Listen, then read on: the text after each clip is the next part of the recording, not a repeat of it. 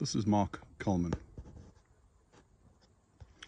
I'm going to be rather cheeky this morning and do a how-to video on how to expand your bee population.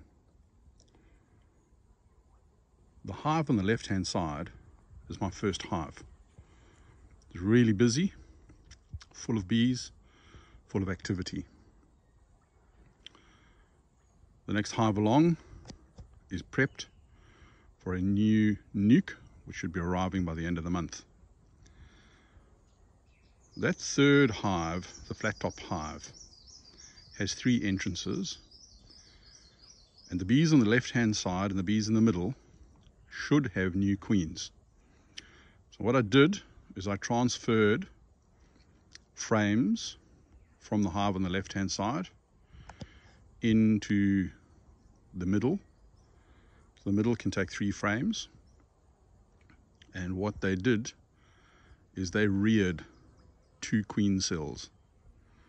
I removed one queen cell, moved it across into the left-hand side with two frames. And I left an empty frame with the hive in the middle. That was about 10 days ago. So what I intend to do today is to go in and have a look and see if the experiment has worked. Hopefully we will have two newly mated queens in those hives. Taking this hive apart, found that the queen is on this frame over here. So I'm going to remove this frame and just do a walkaway split with the bees on that side. So I'm going to give them this frame and a frame of brood and I'll encourage the queen to move down onto one of these other frames and I'll take a frame from the top and put it back in here. Then they'll have enough to deal with down the bottom. These are not really, really happy with me. But in any case, we'll get on with this and get it sorted out. What we have done here is this was the frame that the queen was on. We took the, the queen off, made sure that she was in that hive, I saw her walking around on the bottom. I returned frames for her and shook in two lots of frames of nurse bees and an additional frame of capped brood. Now, a fair number of these bees are going to go back to where they came from. Unfortunately, the half cup of bees that I had put into here yesterday afternoon have absconded. They had nothing to guard. They didn't have a queen. They didn't have brood. They were just on their own, unfortunately. Well, live and learn. So that's a learning experience. Now those bees might have actually moved into one of these two hives over here. We're going to have a look and see whether we have any queens in these second hives. We know that this doesn't have a queen now. So we anticipate one week to have queen cells on here. And we may have more than one queen cell we'll come and harvest those and then we'll try and create another small colony. The idea of having these three hives close to one another like this is so that the massive bees keep one another warm. In any case, let's get on with this. Okay. We had a look at these. So this frame, the bees are starting, the outside frame, the bees are starting to create comb. This was the original frame that came in. And as I looked onto this frame, I noticed something very interesting.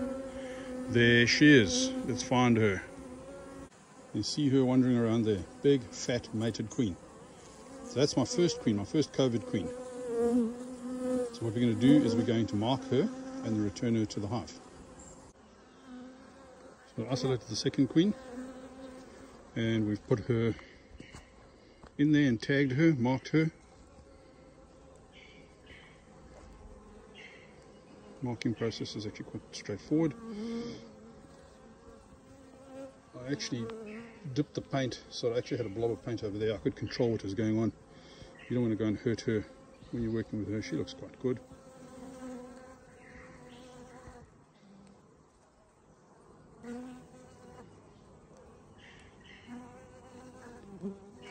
We're going to do is release her back into this hive. There she goes, and down she goes.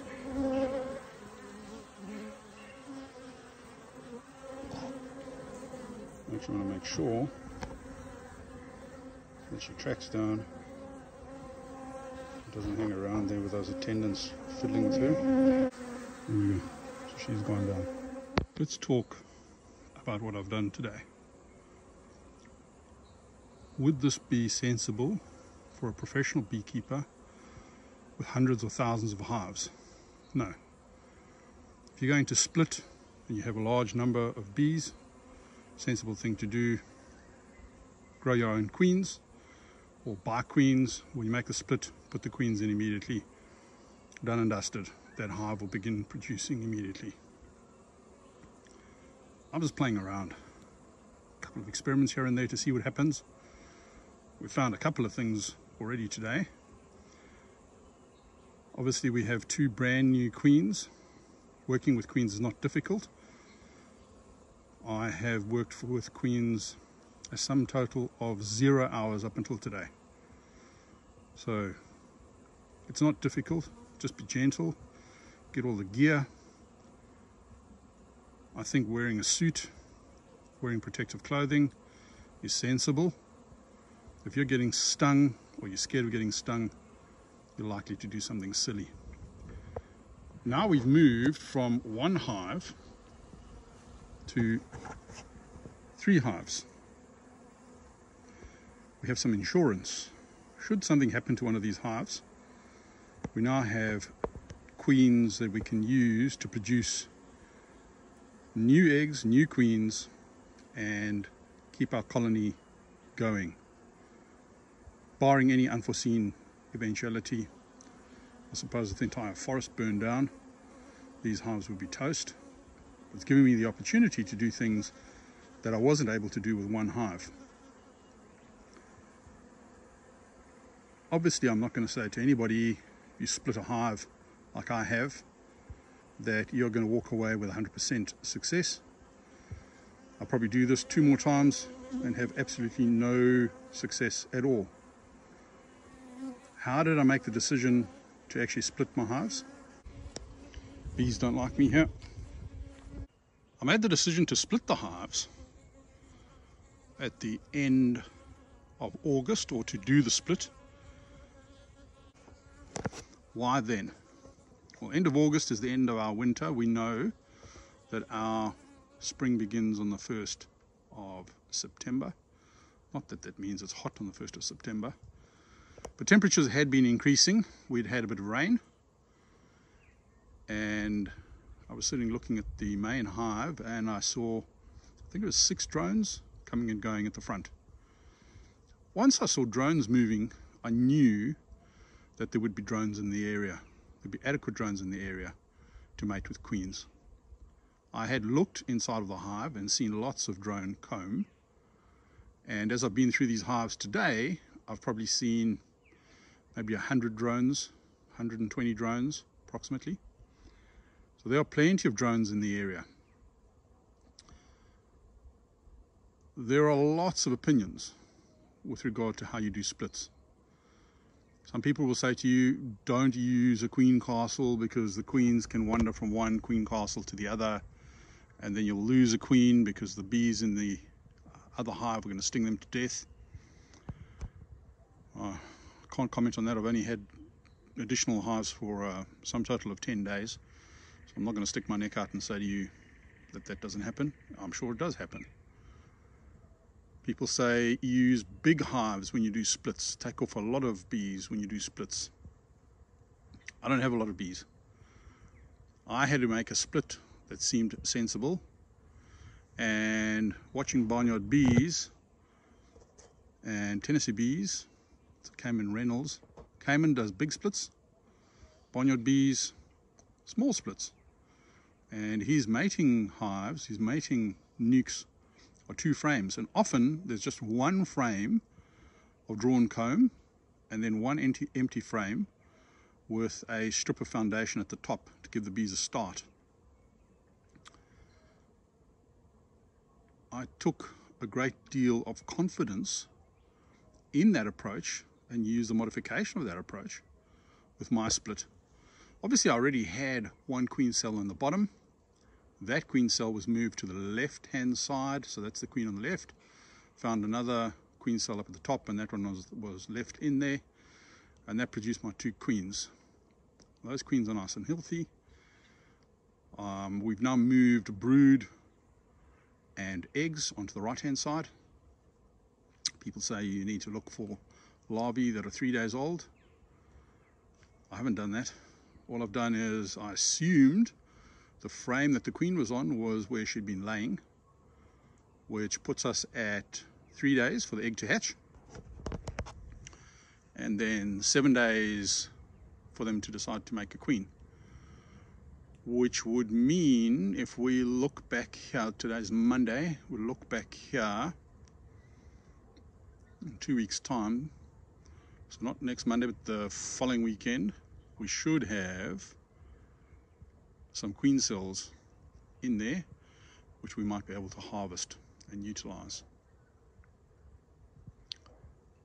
I think the principle to increasing the strength of your hives is to just keep them healthy.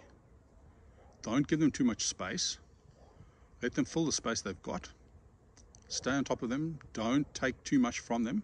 You can't increase your bee population and then expect to be gathering honey and doing I suppose pollination and and and and and you can't do all those things together. We're lucky in Australia we don't have mites, so that's one less issue to deal with. This time of year, hive beetles are not a problem. I found one hive beetle today which was exposed to the two-dimensional technique. Uh, ran the hive tool over its back turned it from a 3D beetle into a 2D beetle. I do have two beetle busters in there. I also have a CD cassette in the bottom, which attracts the hive beetles in, and they die inside of that. I think the CD cassettes are great ideas. Beetle busters work well. I've used diatomaceous earth in the bottom of the hives below the screen don't know that that made much of a difference, but initially there were a fair number of hive beetles, but they're gone now. No wax moth, but you're not going to see wax moth if you have a really active colony. Active colonies don't have wax moths. The other thing you'll notice when you're working with your hives is a smell. There's a lovely honey smell while you're working, and that's a nice healthy colony. If you are a professional beekeeper, going through every single hive, trying to find every single frame, trying to make sure that the queen is on. It's just a hopeless, hopeless task. So really when you're doing a hive inspection, you're going to go into the middle, find approximately where the queen should be, or where the brood should be, pop out a brood frame, have a look at it, see what's going on, you'll get a very, very quick idea when you have a look at the front of the hive, with the, bee, bees coming and going. Is there pollen coming in? Um, and when you look inside of the hive, is there are there stores? Are there brood? Is there brood? The brood capped? Which stage is the brood in? I was a little concerned when I opened up my hive today, purely because I couldn't find the queen until I searched in the bottom and there she was down there. In any case, it's been an exciting day and I hope you're enjoying the journey with me.